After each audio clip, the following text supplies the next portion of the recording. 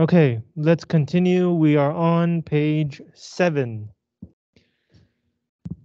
Uh, here we have a unit about making generalizations. This is when you need to say something general, not specific, but in an, a general case, a normal case. And there are a lot of words here that you can remember. They basically mean similar things, um, but there are a few details that you should remember.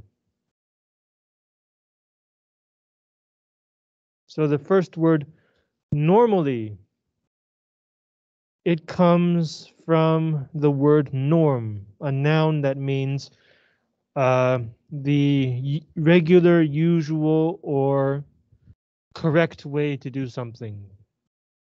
So the word normal can mean regular, but, it can also mean uh, expected or correct. So uh, we have to be a little bit careful with this word because sometimes we, we want to say that something is usual, but we don't want to say that it is correct. If you say that something is correct, that means that uh, other things might be incorrect. And sometimes we don't want to say that. Um, so be a bit careful with the word normal and normally.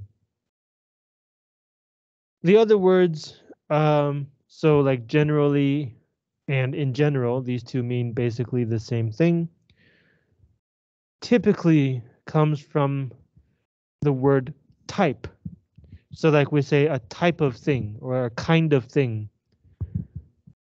Uh, this word originally, the word type originally meant uh, like um, when you use a computer keyboard, right? You type the words, 打字. Uh, the word type originally meant the letters for printing. So like when you print a newspaper, the machine that you use to actually print 印刷 the newspaper, uh, each letter is called a type. So you can see that uh, the word type to mean kind means that you use one um, specific shape to represent uh, a letter. So typical means uh, if you only use this specific shape and you don't need to use a different shape or a different kind. So the first four words are uh, generally speaking, so in most cases. Um, usually also means in most cases. And for the most part also means most cases. Let's see what else. Many, a lot of, most, uh, all mean in most cases. Then you have the words for a slightly lower frequency, so not as often. Sometimes, some, and a good number of a good number of looks like it means many or most. But actually, if you use this phrase in uh, that mean instead of using most, uh, that means it has a different meaning. It means not a few. So in fact, it means some, not most. Uh, logically speaking, most is more than many and many uh, means a good number of and is more than some. And then if you want to move to a lower frequency, you have seldom, rarely, few. So these are not often. Uh, and then one more thing to point out. To eat out means to go out to eat, like at a restaurant. Uh, and at plus some kind of time.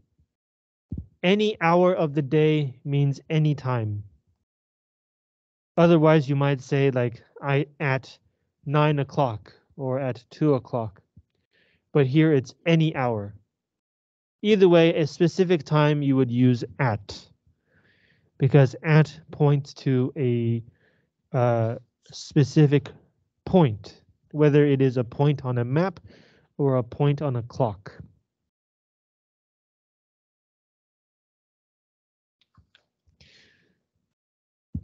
Okay, let's uh,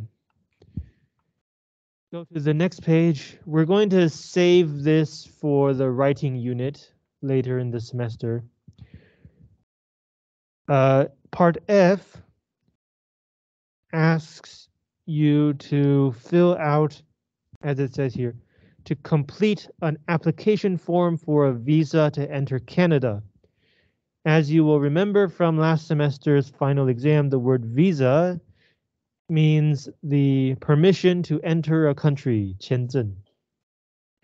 So on the next two pages, we have a visa application form for Canada.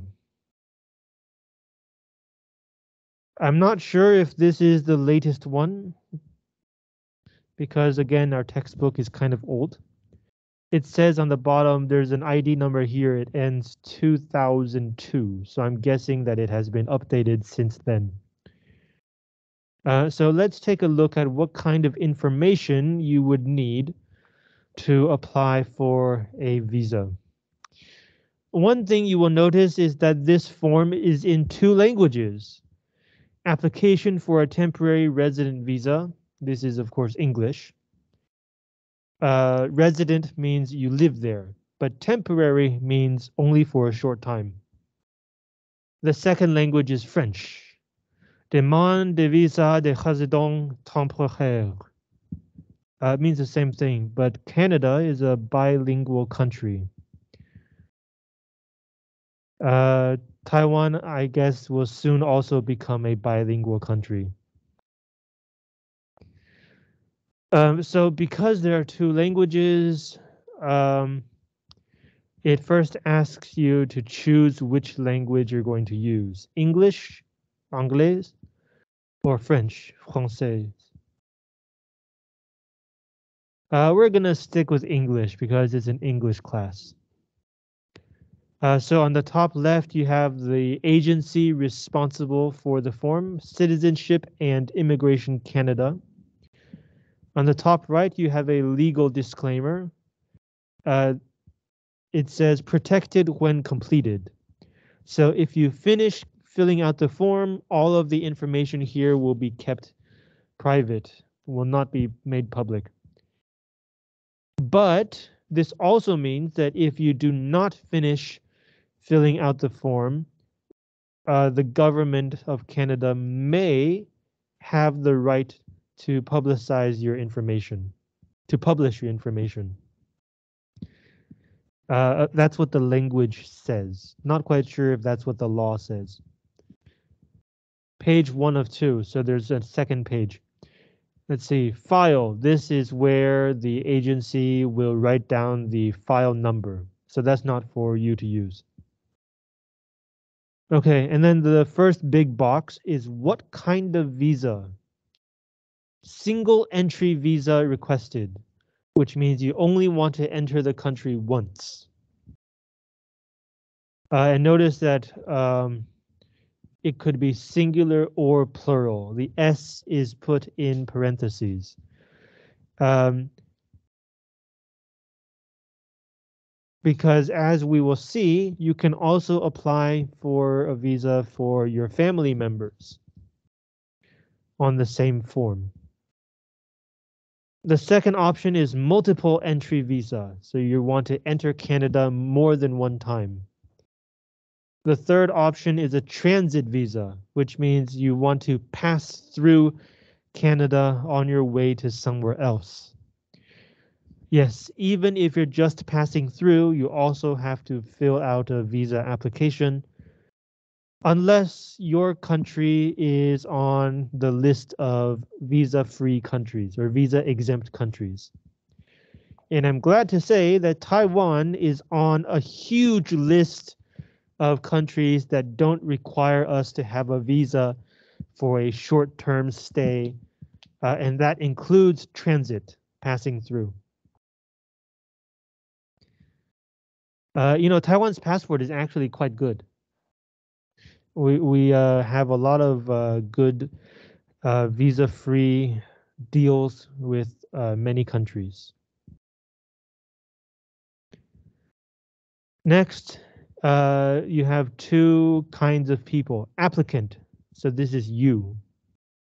Spouse or common law partner, and children. A spouse is the person that you're married to. A common law partner is the person that you live with that you're not married to. You're like a long-term, you're in a long-term relationship, even if you did not get married to them.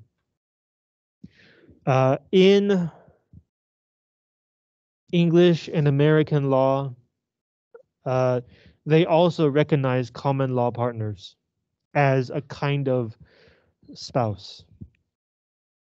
I think there's a legal legal requirement to prove this relationship, but if you can prove it, you don't need to have a marriage certificate. So here's the information. Let's look at self uh, as an example.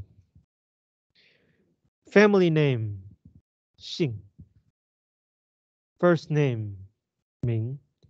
Second name, in American English we call this the middle name, 中间名. Relationship. So of course, if it's yourself, then it's yourself. But if it's not yourself, you should put down uh, the relationship between the person and yourself. Sex date of birth. Uh, and you'll notice that it has a specific format. Day, it says D. Day, M is month, and then year. So like you would put down, if it's today, you would put down 02, sorry, uh, 24, 02, and then 2023. This is the opposite order from the order that we use in Taiwan, right? In Taiwan, we say year, month, day. In Canada and in Europe, they say day, month, year. In America, they say month, day, year. So you have to remember that, uh, especially if you only see the short version, you don't want to get confused. Then place of birth. And then citizenship. So which country do you belong to? Then passport number. And then your passport expiry date. When does your passport uh, expire? When do you need to renew your passport? Um, usually, even uh, you have to renew your passport within six months of the expiry date. So for example, if uh, your passport will expire today, then you need to renew your passport at least six months before. So you would have had to renew your passport at the end of uh, before the end of August last year usually if your passport has less than six months left, countries will not let you in. Um, this is international custom. So um, if you're planning to travel abroad, make sure uh, that your passport is more has more than six months left. Next, marital status. In other words, are you married? Next, uh, for these other people in your family, will they accompany you to Canada? Yes or no? So in other words, are you traveling together? Next, the purpose of my visit to Canada is, so why are you here? Tourism, business, other, and if you say other, you have to explain somewhere else. Uh, it says below. Is there a space to explain below?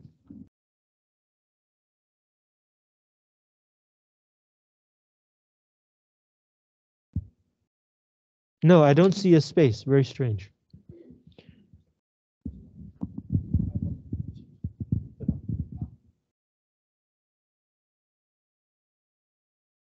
Uh,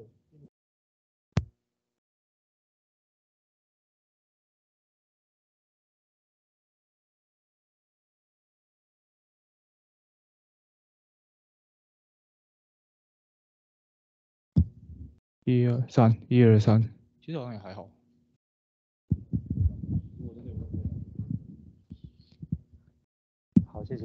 Uh, for those of you listening online, uh, apparently somebody said that the microphone is not clear, but it sounds clear to me. So somebody was just testing the microphone. Okay, anyway. Um, yeah, it says provide details below, but I don't see a space to provide details. Uh, maybe you just write it on the right hand side. Anyway. Next question, how long do you plan to stay in Canada? So start date and end date. Next question, funds available for my stay in Canada. How much money do you have prepared for your stay? Uh, and the unit is Canadian dollars. And you would put it here. Next question. My current mailing address. So where can you receive your physical paper mail? And it says, I know you probably can't see this. It says all correspondence will go to this address. The word correspondence just means mail. If you wish to authorize the release of information from your case file to a representative, indicate their address below and on the form IMM 5476. Uh, this means that if you want to let the government talk about your visa application with somebody else, please add their address below. Uh, so you would add the address here.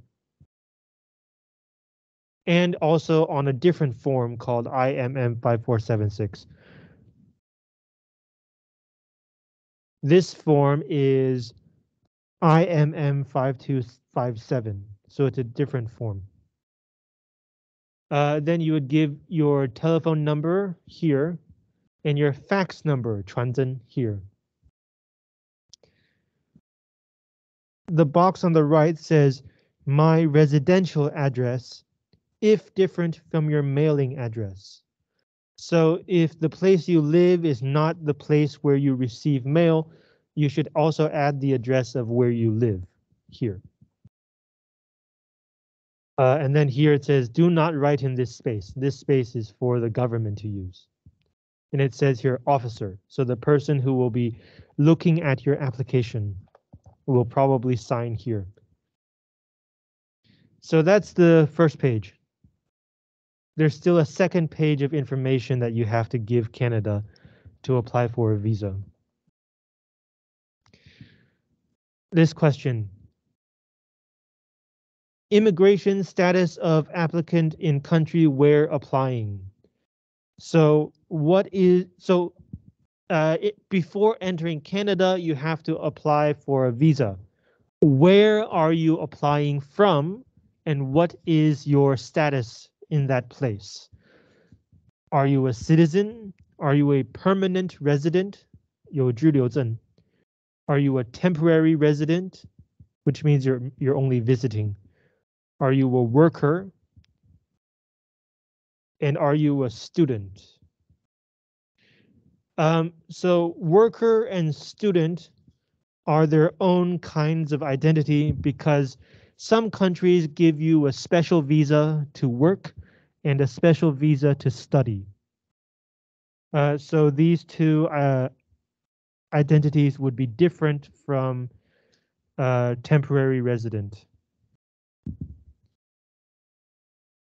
Uh, and um, if you are not a citizen or a permanent resident, you also have to note how long you are allowed to stay in that country. So this is the day you have to leave that country. The next box, my present job. Give the job title and a brief description of your position. So you have to say what your work is and what you do at your work in this box. On the right, name and address of my present employer or school. So what is the name of your company or the name of your school if you're a student? Next box, name, address, and relationship of any persons or institution I will visit. So when you go to Canada, uh, who or where, like a company, do you plan to uh, visit or work with? Uh, and it asks you to give that information, the name, the address, and relationship to you. So like if you're visiting a family member, you would say like the family relationship. If you're visiting like a friend, you would say friend, that kind of thing. This, I think, is to prove that you have an actual plan, that you know the someone there and you know them well enough to have their address so that the Canadian government will know that you're not just um, doing whatever, but that you're in Canada for a purpose. Then you have a list of uh, security questions. Have you or any member of your family ever? And on the right it says X the appropriate box. So not check 打勾, it's X 打叉. Uh, yes or no, they're all yes or no. So the first question is, been treated for any serious physical or mental disorders or any communicable or chronic diseases? So have you been seriously sick in body or mind? Uh, the next question. Have you ever committed, been arrested, or charged with any criminal offense in any country? So yeah, have you ever done anything illegal anywhere in the world? The third one, have you been refused admission to or ordered to leave Canada? So in the past, have you tried to apply for a visa and been rejected? Or have you entered Canada and the government has asked you to leave? Fourth one, have you applied for any Canadian immigration visas? Uh, for example, permanent resident, student, worker, temporary resident, visitor, temporary resident permit. So like this is to apply to enter Canada, but have you also applied for any other kind of permission to stay in Canada? The fifth one, have you ever been refused a visa to travel to Canada? Again, have like so have you applied for a visa before uh, to Canada and been rejected? And the last one. In periods of either peace or war, have you ever been involved in the commission of a war crime or crime against humanity, such as willful killing, torture, acts upon enslavement, starvation, or other inhumane acts committed against civilians or prisoners of war or deportation of civilians? Okay, have you ever committed a war crime, 战呃战争犯罪, or crime against humanity, 违反人类犯罪? Uh, and below that, this box, it says, if the answer to any of the above is yes, give details. So uh, it's not like if you check if you X yes, you will automatically fail and not get a visa. It lets you explain what happened. Uh, and also please note that this is a government form and it is illegal to lie to the government. So if you lie on this form and the government finds out, they can charge you with a crime.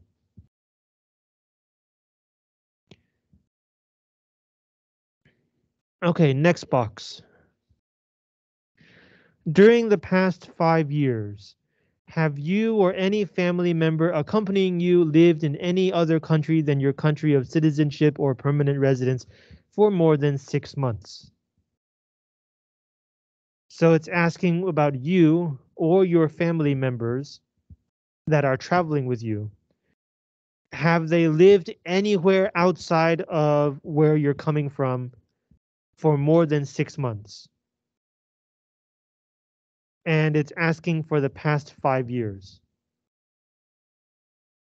Uh, well, not where you're coming from, any country outside of where you are a citizen or where you are a permanent resident.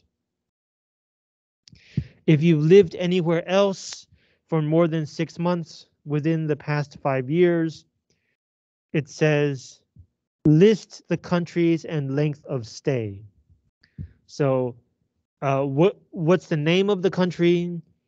Sorry, what's your name or, or the name of the person? Because it's asking about you or your accompanying family members. So the name of the person, the name of the country, when you entered that country and when you left that country for the past five years. Uh, and then the last question, 14. I declare that I have answered all questions in this application fully and truthfully. Uh, and, and, then you have to sign your name and then give your give the date when you signed. This is to make sure that if you do lie, the government can use this as evidence against you.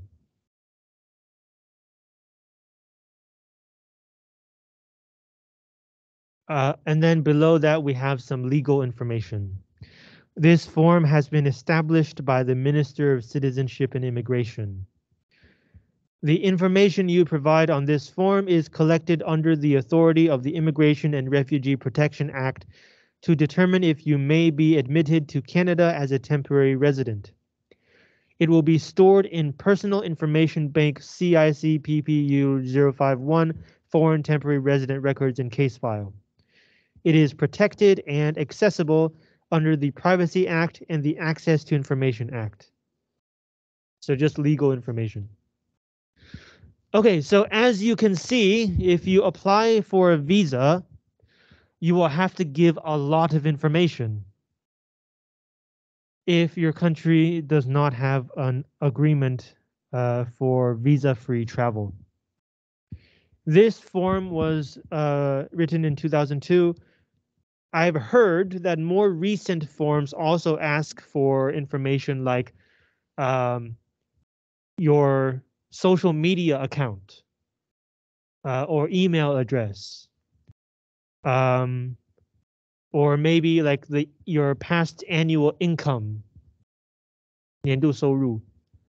Uh, and uh, famously, the application to enter the U.S. asks you, "Are you a terrorist?" Now you might think that's kind of stupid. No terrorist would actually say yes.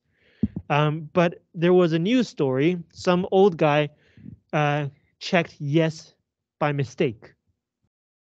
And the government actually sent police to arrest him and interrogate him uh, about how he was a terrorist, which is just stupid. Um, but yes, that question is on uh, some forms. So if you ever want to travel to another country, um, you have you should prepare all of this information. And now you can understand why on the final exam last semester, uh, one of the questions for the writing prompt is, will you help apply for a visa? Because it's kind of annoying.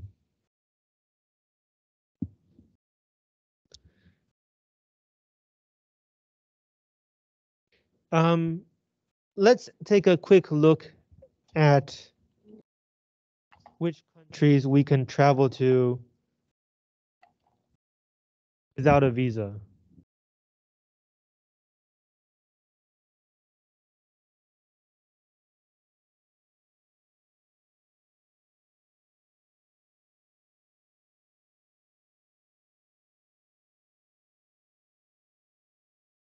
Um, okay, let's see. As of 28 January 2023,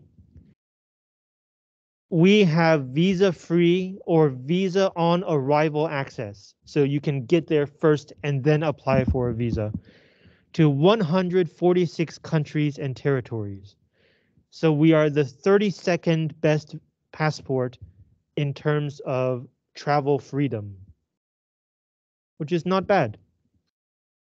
Uh, so green are the countries where uh, okay, dark green are the countries that don't require a visa. Light green are the countries where we can apply for a visa when we land. Uh, like this color is uh, online visa. This color is visa available on arrival or online. And then this color, sorry, this color is mainland China where we have to apply for a special thing. So uh, that's not bad, right? Like, look, US, Canada, most of Europe.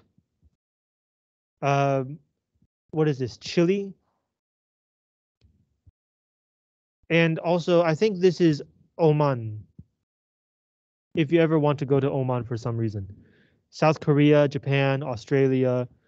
This is Malaysia, New Zealand. So like most of the places where you might want to go, we don't need a visa. That's pretty good. Okay, um, let's go to page 11. Uh, this is the communication part. Uh, here, the textbook gives you some phrases you can use for giving suggestions and taking suggestions. Uh, and it says, so why don't we, shall we, we could, or um, more informal way is let's do something. For accepting suggestions, you can say that's a good idea or that's a great idea. Yes, let's do that. Great. You can also say sure.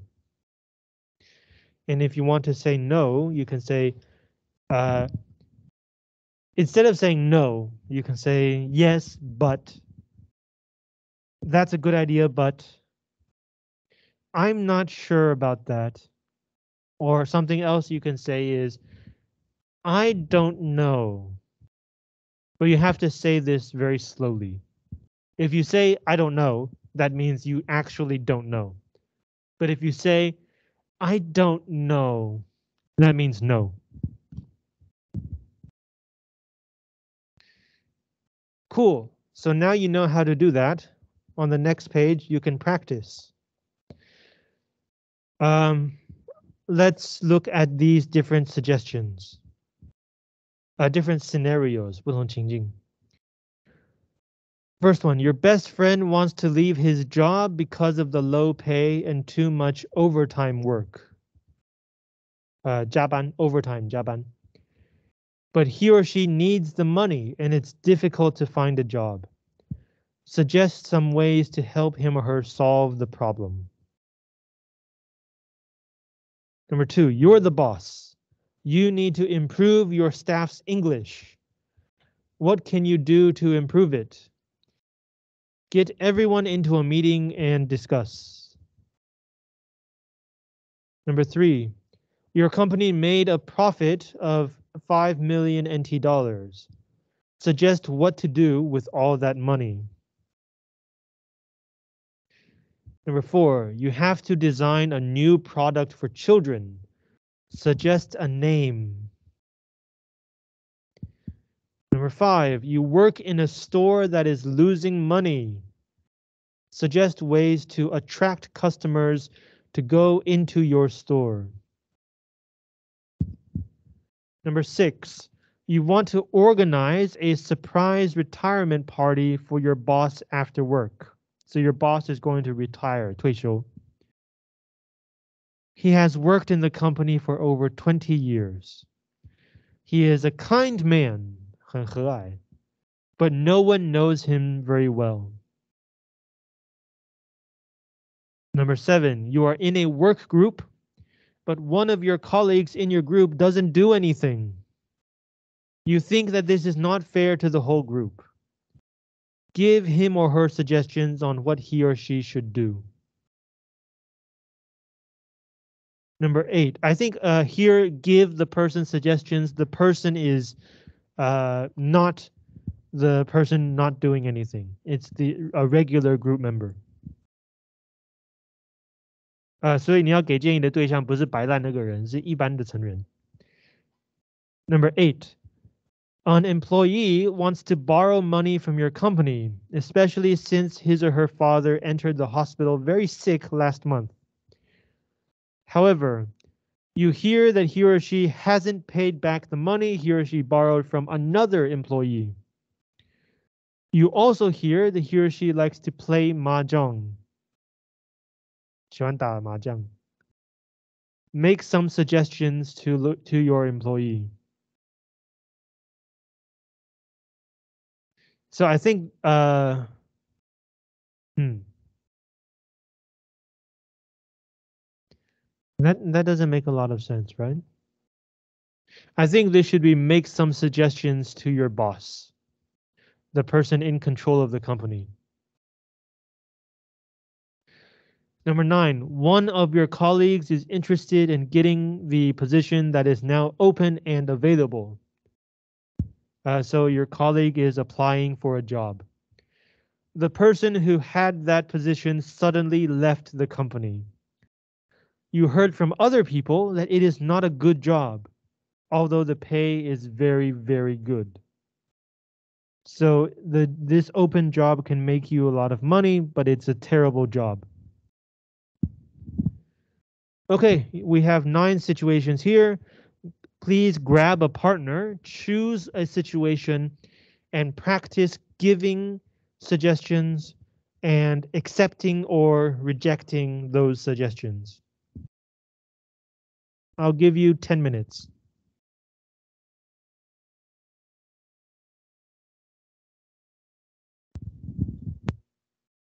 Okay, let's continue. For this next speaking activity, we will be using pages 13 and 14. Uh, on page 13, okay, so here's the activity. Some foreign clients called you to say that they plan to visit Taiwan for a few days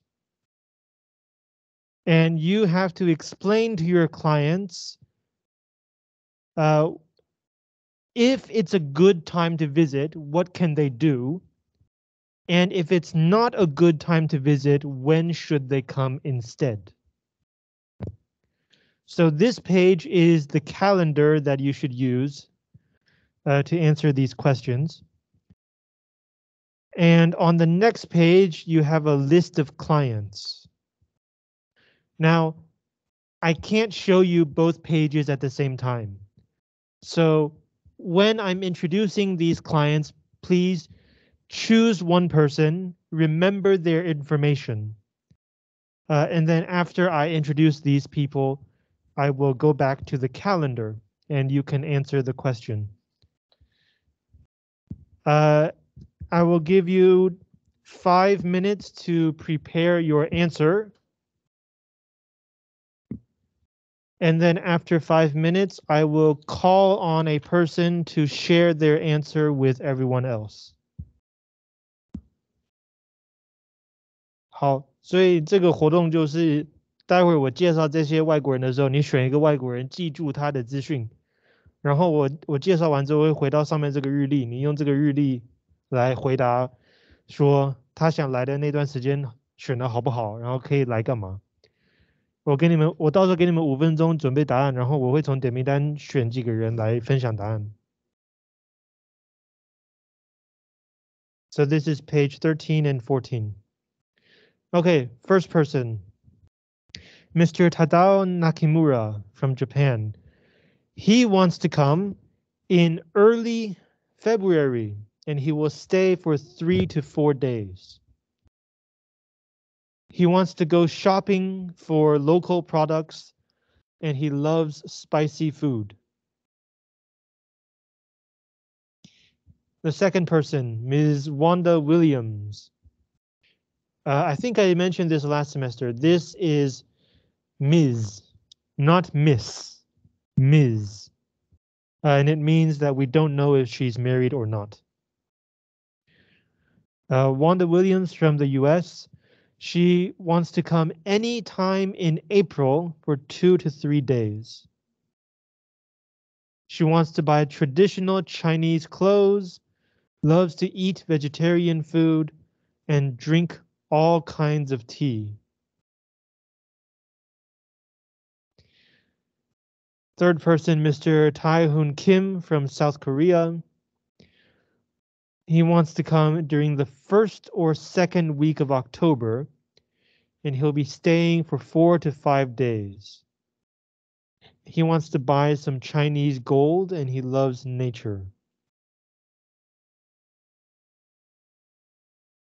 Next one, Mr. Franz Heinemann from Germany. He wants to come from June 5 to 7. And he wants to know where he can get cheap computer software and watch a nice movie.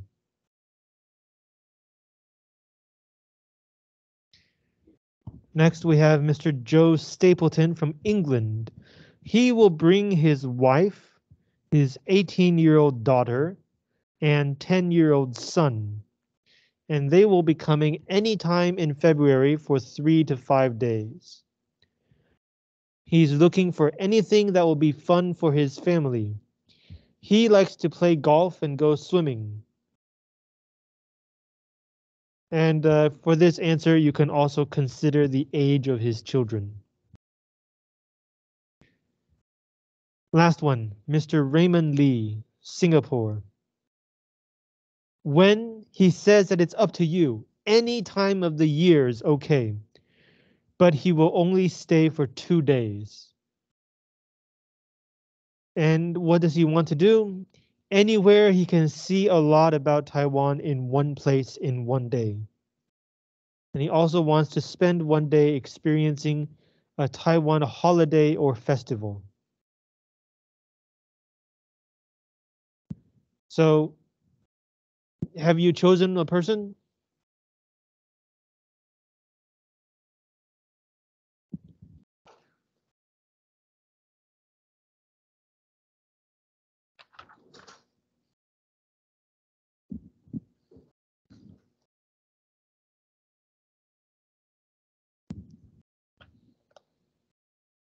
Okay, so if you've chosen a person, here is the calendar.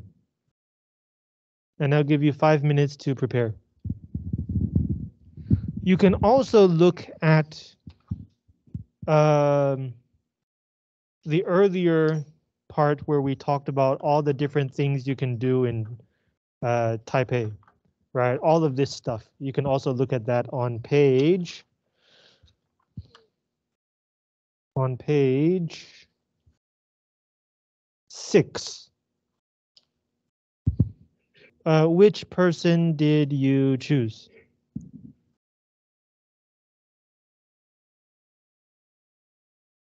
Like which number?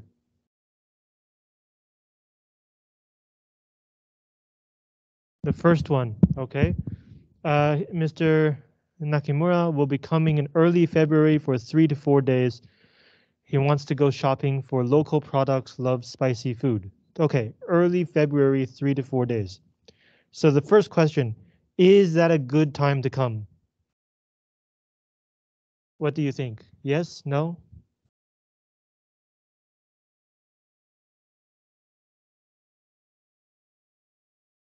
early February, so he can join like the Chinese New Year Lantern Festival, uh, 元宵节. Is that a good time for him to come? Yes. Okay. And he says he wants to buy local products, eat spicy food. So where would you take him?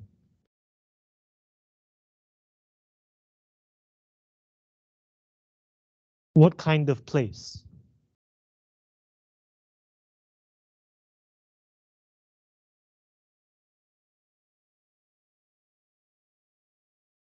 Like local products and spicy food. That sounds like a night market would be good, right? Yeah. Uh, night markets have lots of local stuff and lots of food. Cool. Great. Thank you. Okay, let's move on. Uh, do we have a volunteer who wants to share their answer? 有人要自愿提供答案吗? Okay, so let's move on. Listening. Uh, let's take a look at the questions first. Listen to the dialogue, so it's it'll be uh, more than one person talking. And then answer the questions. One, what countries do not give knives as gifts? 不送刀. Hang on, uh, I forgot to mention something. This word, retrocession, Taiwan Retrocession Day. This is Guangfu. Guangfu 纪念日. Okay. Um, which countries do not give knives as gift?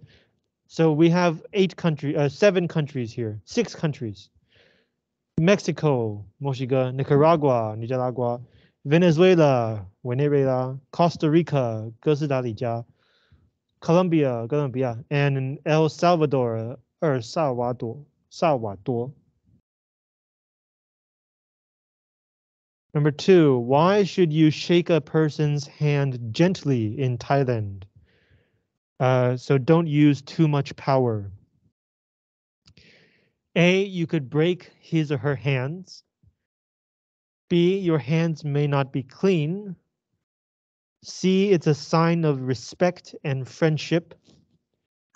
D, it's a sign that you are in love, although the both of you aren't sure yet. Okay. Interesting. So D means that you love the person, uh, but you're not sure if the other person loves you. Number three, according to the dialogue. So based on information that the dialogue gives you, what are some things that Jordan, uh, Chowdan, and Saudi Arabia, Saudi Arabia, have in common? So what are some things that are the same? A, they are both Muslim countries with a lot of oil, Muslim 国家. B, they are both very private countries. C, they are both Muslim and they celebrate the holy month of Ramadan, 斋戒日. D, they think that bribes, 行贿, are an accepted part of life in the Middle East, 中东. Number four, a bribe is. Okay, so I just gave you the definition, but this question is asking you the meaning of the word bribe in the dialogue, not just according to a dictionary. So a bribe is A, a gift that you return to the person. So a gift that you give back. B, a gift that is given to someone to get a favor in return. So when you ask someone to help you, you would give a gift first. C, a gift that is expected when doing business in Jordan. D, none of the above. 以上皆非. Number five, which customs did Grace find interesting in her last stop? 哪些风俗? A, giving a gift in private. Uh, in private means uh, 私底下, uh, not in public. B, burning gifts in the office. 把礼物烧起来. C. Giving a watch instead of a clock. 送表不送钟. D. None of the above.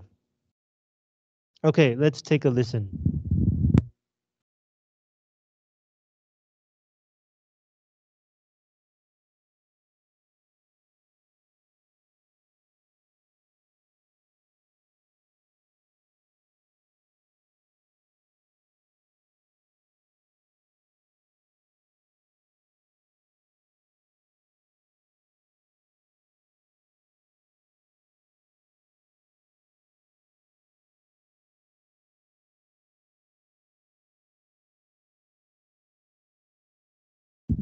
Cool. Um, okay, so let's look at the answers. Number one, which countries do not give knives as gifts? The answer is D, Costa Rica and Mexico. Uh, the dialogue tried to trick you. It said Mexico and Costa Rica.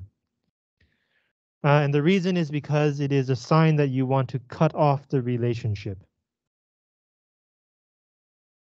Number two, why should you shake a person's hand gently in Thailand? The answer is C, just sign of respect and friendship. And again, the dialogue tried to trick you. It says uh, it shows that you are respectful and you want to be friends. Number three, according to the dialogue, what are some things that Jordan and Saudi Arabia have in common? Okay. This question, you have to use a process of elimination. A, they are both Muslim countries with a lot of oil. The dialogue did not mention oil. B, they are both very private countries. Not true. In Jordan, Grace had to give her gift in public. So Jordan is not a very private country. C, they are both Muslim and they celebrate the holy month of Ramadan. This is true for Saudi Arabia.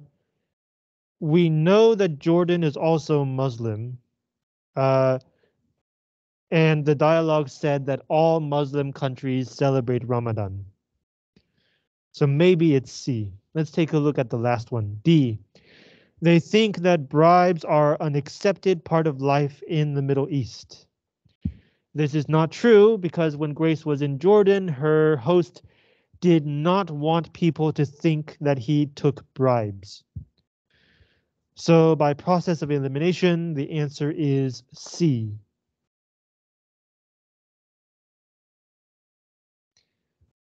Number four, a bribe is Uh, because the the fourth option is none of the above, we also have to do a process of elimination. So let's take a look. A, a gift. Well, actually, no, we don't. Um, in the dialogue, it said that um, Grace was not allowed to give a gift in private because her host did not want people to think that he was taking a bribe she had to give her gift in public. So what is a bribe? It seems like a bribe is a private gift. Um, the closest option is B, a gift that is given to someone to get a favor in return. This is the dictionary definition of bribe. But in the dialogue, the key difference is private or public. It's still possible that after receiving the gift, uh, Grace's host would still try to help her. But he does, in that case, he does not call it a bribe. Uh, so the answer to this question is actually D, none of the above. 这题要我 稍微用中文讲解吗？就是 bribe 行贿字典定义就是说，那个我给你个东西，让你帮我一个忙。但是在对话里面，Grace 在乔丹的那个呃，他的朋友说他不能私底下收礼物，让人家会以为他在收贿。他必须要在公开场合收礼物。但不管是在哪里收礼物，他也许之后还是会帮 Grace 一个忙啊。所以，嗯、对他来说，行贿这个字的定义就跟字典定义不一样。对他来说，是一个私底下收的礼物就就代表是行贿，但是公开收的话就没问题。所以第四题答案是以上皆非。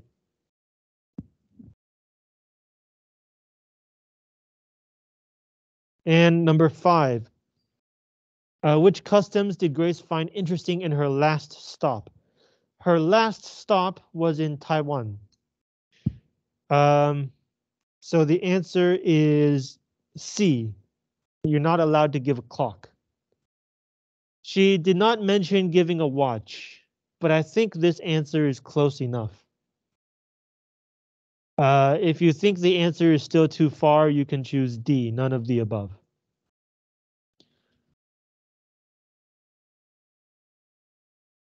Okay, do you have questions about this one?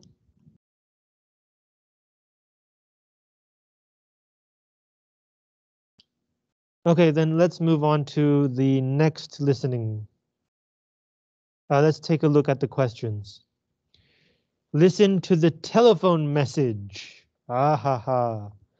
电话留言. Do you guys leave telephone messages anymore? No? You guys just text? 都送讯息不打电话了吼. Okay, so let's look at the information that we need to know. A, where is the caller from? Sorry, one, where is the caller from? A, Saudi Arabia. B, Arab Trade Office, 贸易办公室. C, an Arabian business. Two, what is the purpose of the call? So why is the person calling?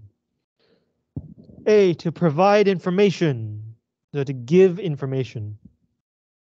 B, to request information, to ask for information. C, to schedule a meeting. C, which day are offices closed? A, Sunday, B, Wednesday, C, Friday. Four, what is one thing that wasn't mentioned? A, working women. B, office hours. C, travel arrangements. Five, when would be a good time to schedule a meeting? A, Thursday at 9 a.m. B, Monday at 3 p.m. C, Saturday at 11 a.m. Okay, let's take a listen. Okay, it's not working. No idea why. Fine, I'll play it on my phone.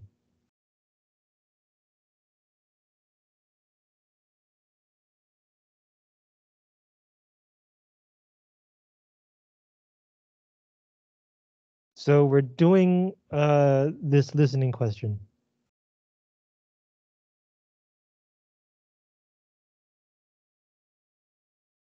Listening B. Listen to the telephone message and answer the questions. Hello, this is Hamid Nurgwani from the Arab Trade Office in Taipei.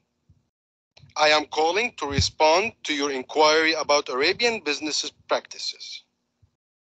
First, I would advise you to only send your male employees to conduct businesses in Saudi Arabia since it isn't common for women to work or hold positions of power. Second, you should know that the work week is from Saturday to Wednesday. Businesses are closed on Thursday and Friday. Finally, many offices are closed for a few hours every afternoon. Working hours are generally from 9 a.m. to 2 p.m. and from 4 p.m. to 7 p.m. I hope I've satisfactorily answered your questions. Please contact me at 02 2882 5485 if I can provide any additional information. Okay. So, question one. Where is the caller calling from? He said that he is calling from the Arab Trade Office in Taipei. So the answer is B.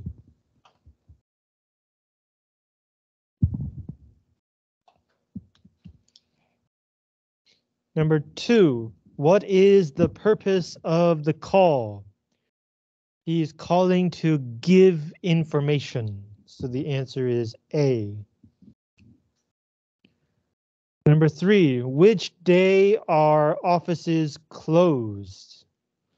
He says that the work week is from Sunday to Wednesday and that offices are closed on Thursday and Friday. So the answer is C. Number four, what is one thing that wasn't mentioned? A, working women. He said that if you do business in Saudi Arabia, please send male workers. Not that male, male or female. That male. Um, because it is not common for women to work or have positions of power, 掌权. B, office hours. He mentioned office hours. C, travel arrangements. He did not mention travel arrangements. So answer is C. And then question five, when would be a good time to schedule a meeting? Uh, so A, Thursday, no, the office is closed.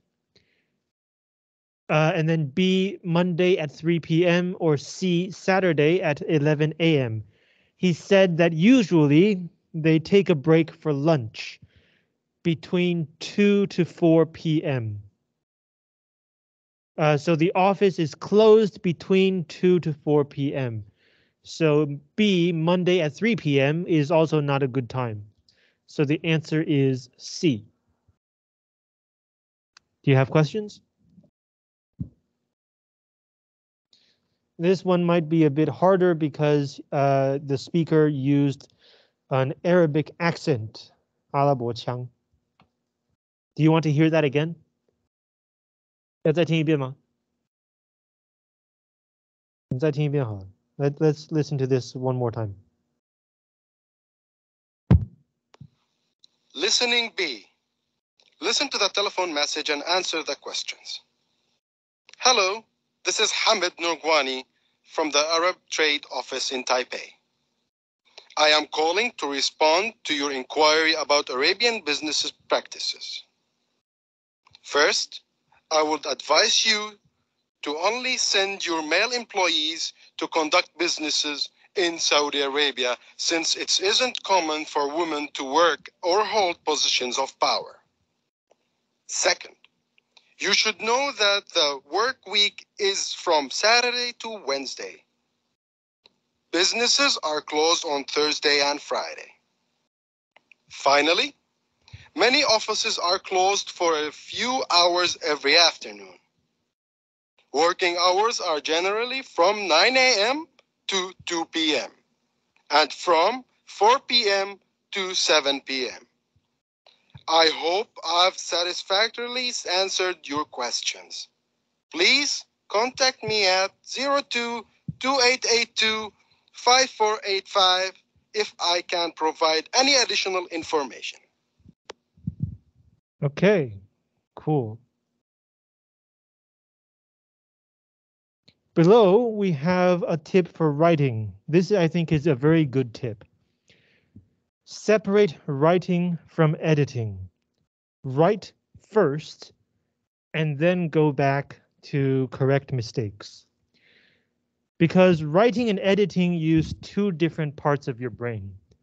Writing is when you're generating ideas, you're trying to put these new ideas together.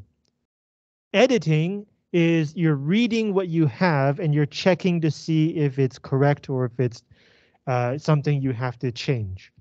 It's two different ways of thinking.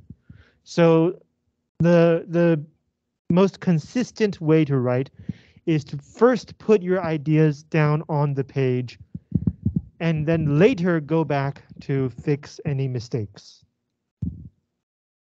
If you have time, right? This is for regular writing. If you're doing exam writing, uh, I suggest you check for mistakes after every sentence or every point. Because in an exam, you may not have enough time.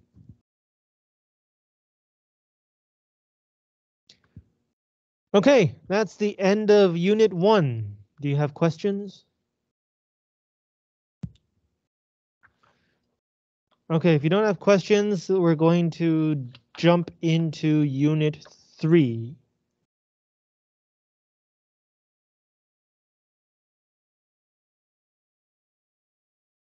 This unit will be about negotiation, tanpan.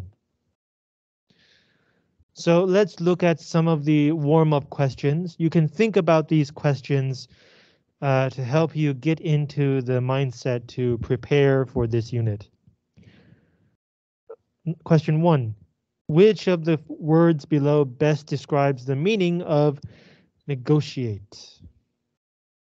A, discuss, talun. B. Argue, 争论. C. Persuade, 说服. D. Debate, 辩论. E. Solve, 解决. F. Convince, 说服. And why?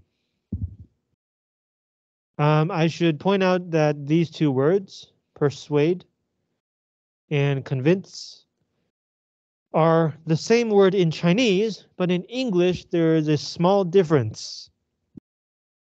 Persuade means that you get the person to do what you want to do. Convince means you get the person to do what you want to do and to like it.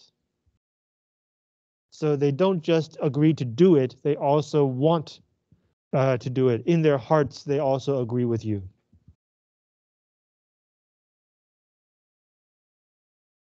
Question three. What is the meaning of bargain? 讨价还价.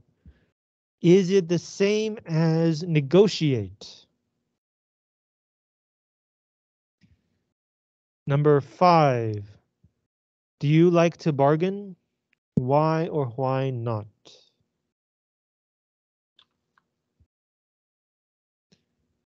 Okay, let's take a look at the reading. Negotiating a win-win deal. How do people negotiate? Negotiate usually means to discuss something because you want to have an agreement. Do you ever negotiate?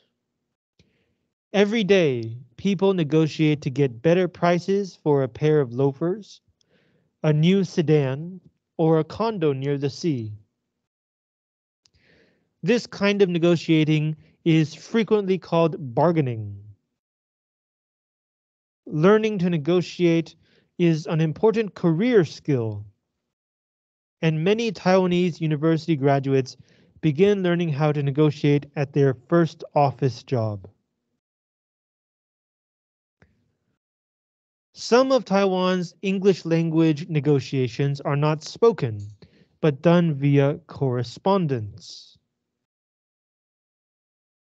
Some Taiwanese business people feel more comfortable with written negotiating because they can more prudently observe what their foreign counterparts are discussing. Other businessmen and women say that expensive long distance phone calls confine much negotiating to writing. Business negotiations once relied on the speed of the local post office or on expensive international traveling, but technology has greatly shaped the way businesses negotiate. Previously, most written negotiations were done via fax or facsimile. A case in point, Taiwan's once expensive long-distance telephone rates were reduced by negotiations between Zhonghua Telecom and AT&T, a US telecom firm, in 1993. Almost all of this negotiating was done by faxing messages across the Pacific. However, in recent years, fax negotiations are in decline as a result of the convenience of email and instant messaging.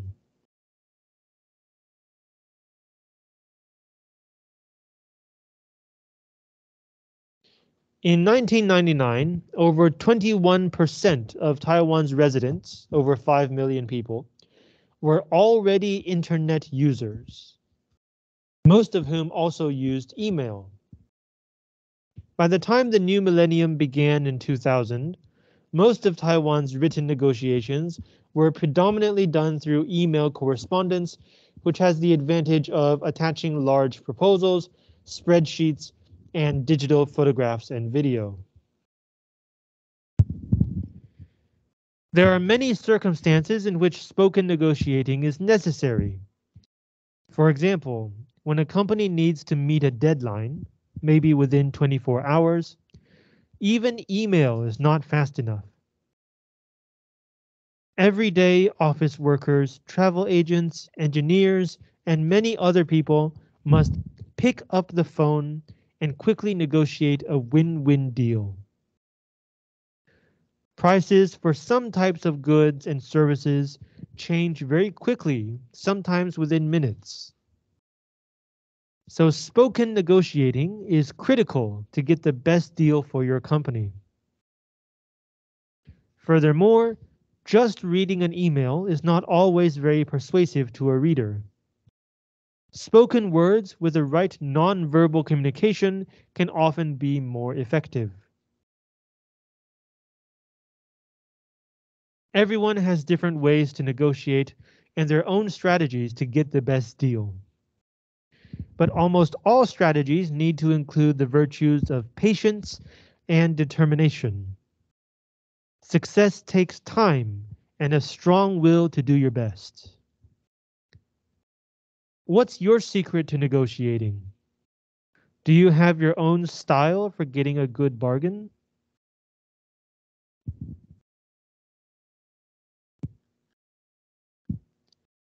Okay, let's take a closer look at this reading. A win-win deal. In Chinese, we call this 双赢局面.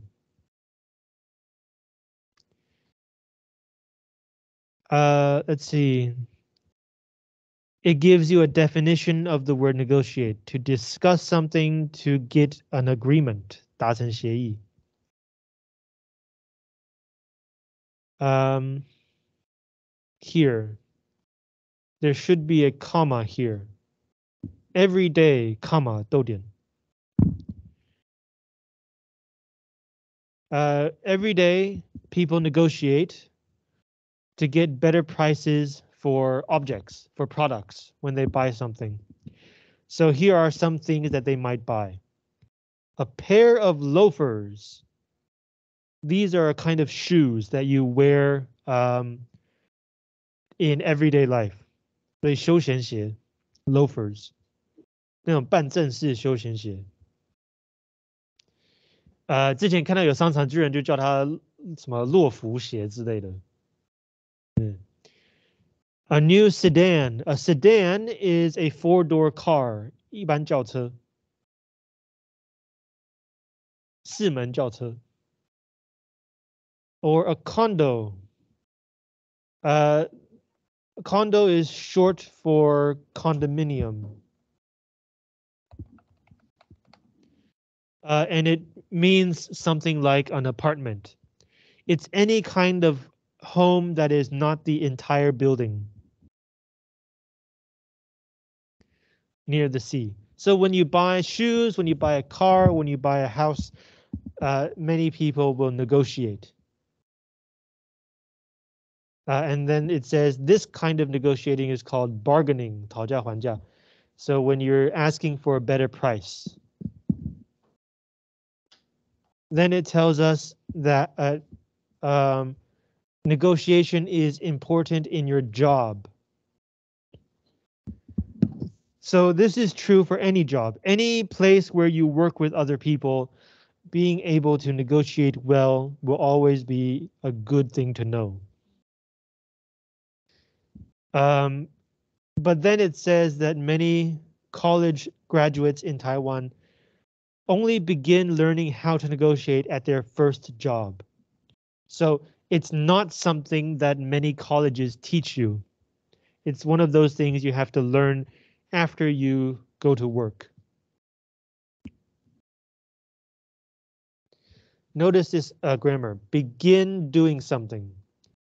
You can say begin to do something or begin doing something. Both are correct.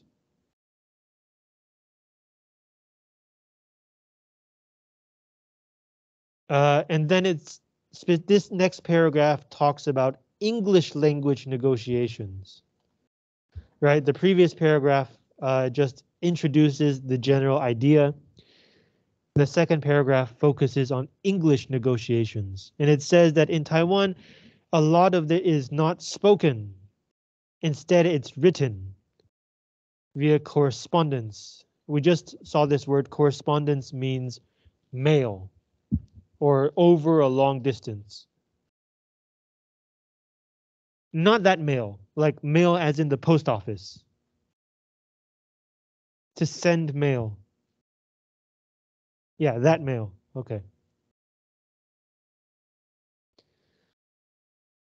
Uh, again, this was this textbook was uh, written in 2003, but even so, at the time, um,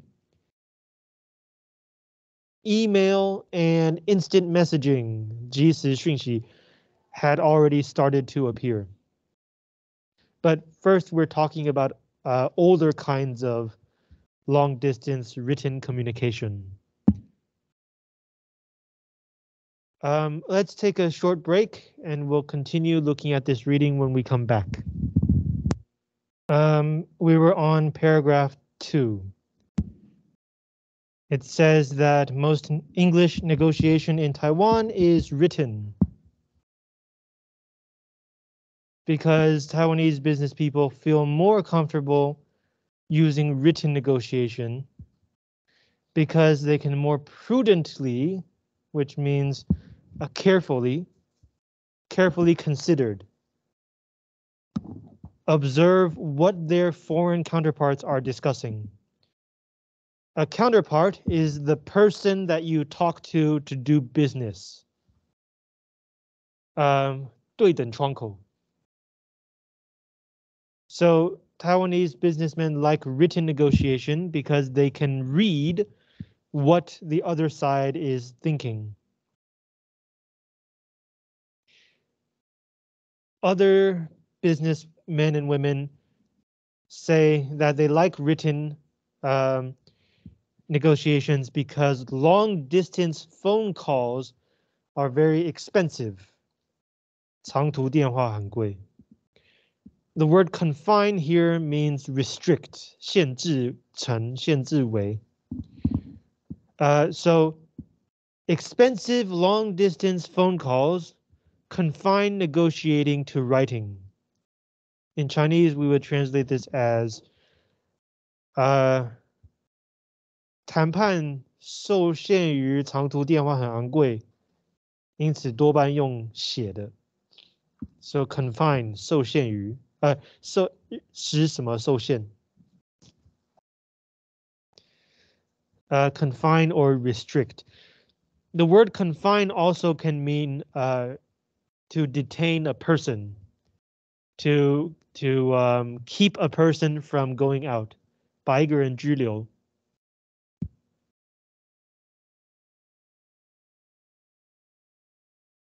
Um,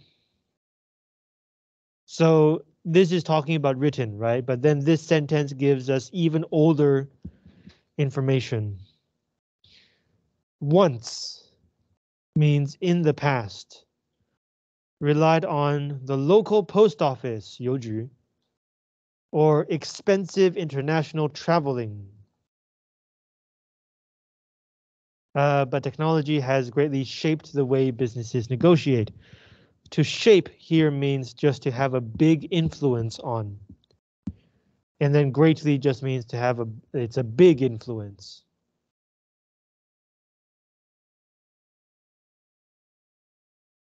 Um, and so this last sentence talks about technology making business negotiating easier. The next paragraph gives us an example of technology making business negotiating easier.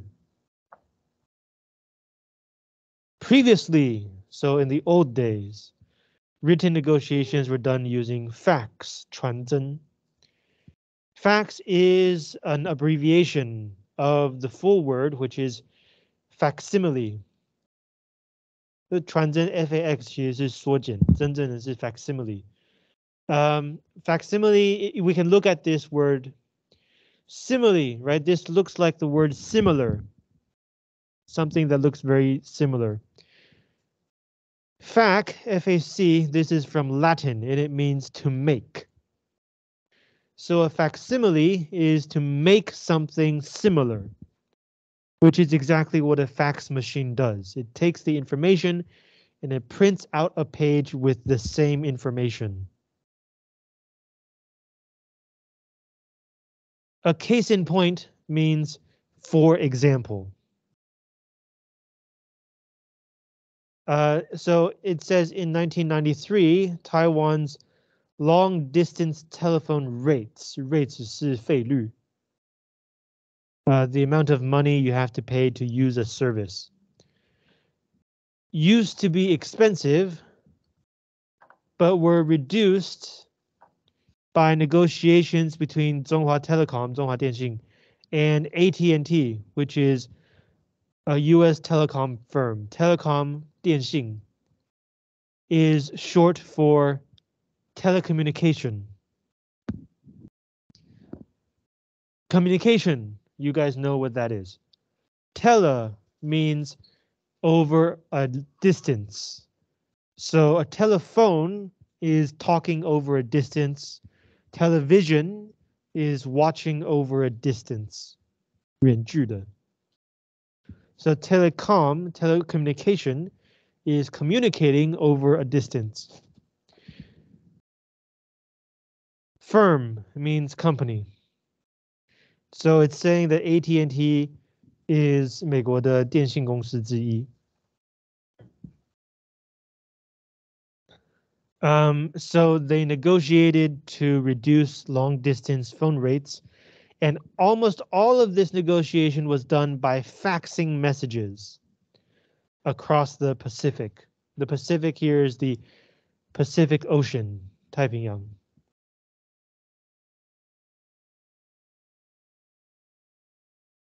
Um, but in recent years, because of email and instant messaging, fax negotiations are in decline. 逐渐减少. Uh, decline means to go lower. So it's talking about a graph. 图表上,线性图, right? If it's going lower, that means there's less and less.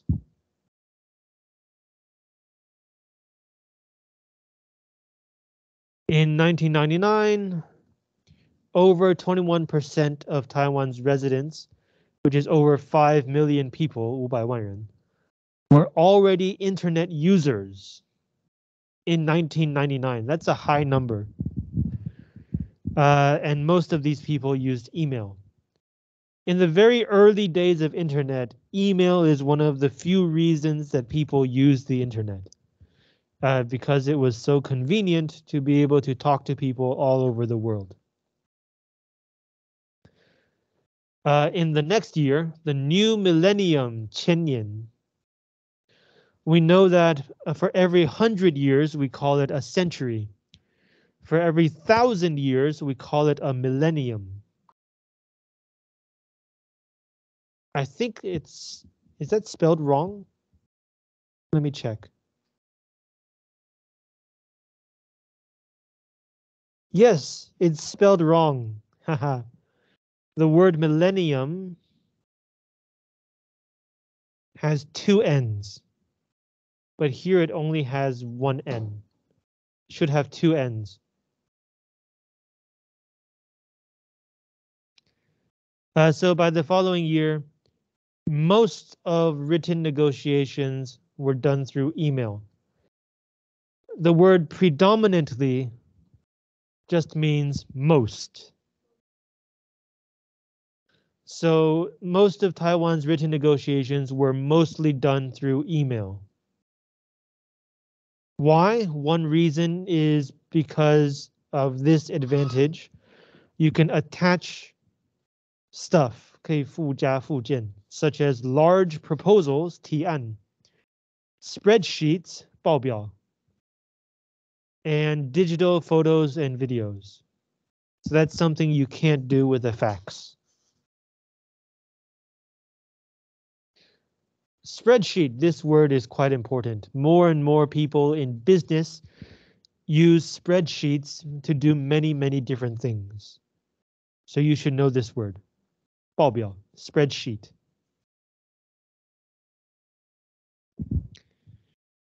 Uh, but even though most Taiwanese business people like to use written negotiations, there are many circumstances or situations in which spoken negotiating is necessary, where you still have to pick up a phone and talk to someone. When you need to meet a deadline, uh, 就赶期限, the word here is meet, to meet a deadline maybe within 24 hours. Even email may not be fast enough. So everyday office workers, travel agents, 那个叫什么？旅行代理人. We talked about this last semester. Engineers, 工程师, and many other people must pick up the phone, 拿起电话, pick up the phone, and quickly negotiate a win-win deal. Uh, so that's one example when you have a short amount of time. The next example, prices 价格 for some types of goods and services. Goods 商品 services 服务 can change very quickly, sometimes within minutes. So if you want to buy these products or use these services, you might need to pick up the phone to negotiate the best price. Spoken negotiating is critical. Critical means very important to get the best deal for your company. Um, it's talking about goods and services, but I'm also thinking about stocks, 股票, right? The price of stocks also moves very quickly. You might need to uh, pick up the phone or use an app 用 APP. So that's the second example, when prices change very quickly. The third example, sometimes just reading is not very persuasive to a reader. Like when you read something, you don't get the feeling, right? You only get the information. So if you want to persuade the other person, if you want to do a good negotiation, spoken words with the right non-verbal communication, 肢体语言, can often be very uh, can often be more effective.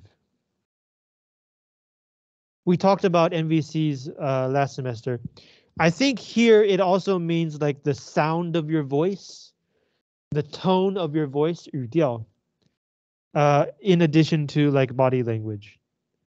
So yes, speaking with somebody can be more persuasive, 更有说服力, than simply writing to somebody. This is very true.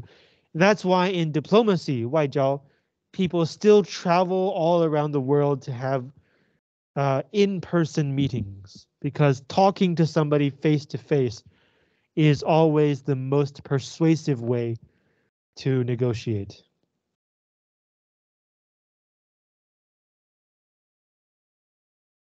Right, to be persuasive to somebody means to be able to persuade that person. Last paragraph. Uh, everyone has different ways to negotiate and their own strategies to get the best deal. So where is the and cutting off? 它它这一句是上面是接哪里？ it's a noun, right? 它是名词。So we're probably looking for a verb. 在找动词。 So it's c- it's bu- uh, connecting here. Everyone has one different ways to negotiate, and two their own strategies to get the best deal. Right. So everyone has their own strategies. Uh, strategy 策略 but almost all strategies need to include the virtues 美德 of patience 容忍啊、不对不起耐心 and determination 毅力 uh, b- and then it explains why success takes time 需要时间 so that's why you need patience and it also takes a strong will to do your best. Will here means like you have intention, you want to do this, your very uh, emphasis is on doing this. 坚强的意志力. So that's determination. And then a classic ending strategy, uh, a strategy to end the essay. Ask questions to the reader. What's your secret to negotiating? Do you have your own style for getting a good bargain? To get a good deal, to get a good deal, to get a good bargain，达成好的协议或是讨价还价得到好的价格。Okay, do you have questions about this reading?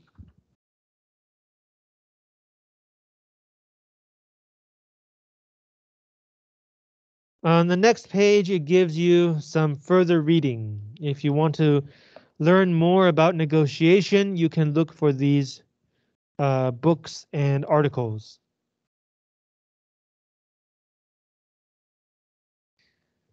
Moving on, page 34, vocabulary.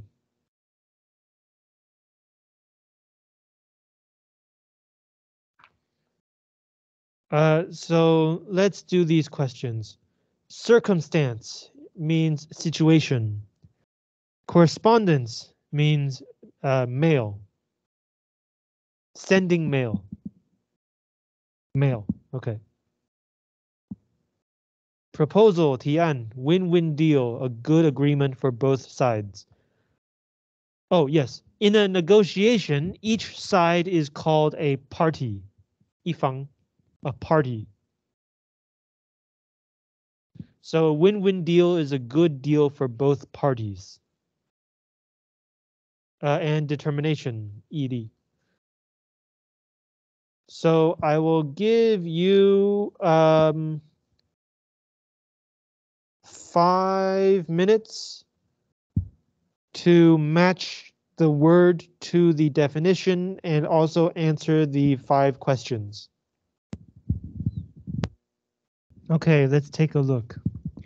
The first word, circumstance. This is for situation. So four is A. Uh, and this one fits C.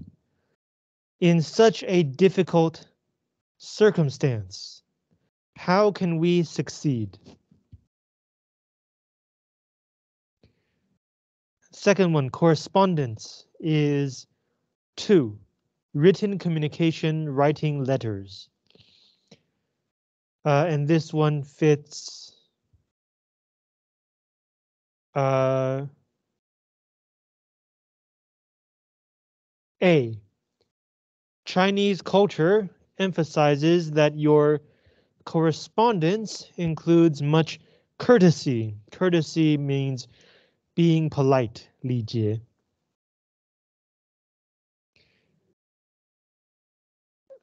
C, proposal. This one is the third one. A suggested plan or possible agreement. And this one fits B. Our customer rejected our proposal and sent a new one to us today. Number four, win-win deal. This one is one, a mutually satisfactory agreement. Mutual means both sides. Satisfactory means it makes people happy. So a deal that makes both sides happy, mutually satisfactory agreement. Uh, and it fits E. This proposal is too one-sided.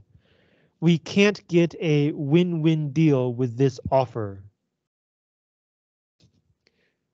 Offer just means proposal. And the last one, determination, is number five, unwillingness. So you're not willing to do it. Unwillingness to quit a goal no matter how difficult. Uh, and so this one is D. To succeed in these difficult economic times, companies must have a lot of determination. Economic 经济的 difficult economic times means that the economy is bad. 经济不景气. Okay, do you have questions about nouns?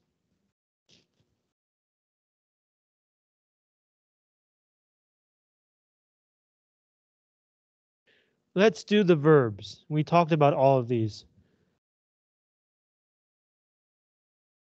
Yeah, I think we talked about all of these. Uh, so I'll give you five more minutes. Okay, let's compare answers. F, attach something. This is number eight. To add or connect a thing, especially in email. And it fits question B. She forgot to attach her document to her email to her boss. G, confine. This is number six. To limit or restrain, 限制. Uh, and this one fits C. Because Leonardo da Vinci emphasized careful details and realism in his paintings, statues, and designs, much of the art of the Renaissance was confined by his. That's not right, was it? Sorry, no, it fits D. Sorry, sorry. Because her company's email system was unusable for three days, Barbara was confined to calling their customers instead. So for three days, she couldn't use email, she had to call them. H, observe. This one is 10, to see, 观察. Uh, this one fits number E. In her research on Taiwan black bears, Heixiong, Dr. Huang observes a group of bears in Nantou for eight months to study their eating habits to learn how they eat and what they eat. I negotiate is to try to come to an agreement, to try to get a deal. Uh, and this one fits F. My boss told me to negotiate a better price with our supplier, Gong Sang. To supply something means to provide something. So a supplier is the company that provides things, 供应商. J, rely on something means to depend on something, number nine. Uh, this fits A. The president relies on his advisors for many critical decisions. Advisors, 顾问 or 智商 uh, 人员. It, it's it can also be spelled S E R S. Um, okay. And K, shape. To number seven, to influence or affect. This one is D. Uh, sorry, C. Uh, because Leonardo da Vinci, so Da Vinci emphasized details and realism 写实主义 in his paintings 绘画 statues 雕像 and design 设计 Therefore, much of the art of the Renaissance, 文艺复兴, was shaped by his style. So much of the Renaissance was influenced by the style of Da Vinci. Okay, do you have questions about the verbs?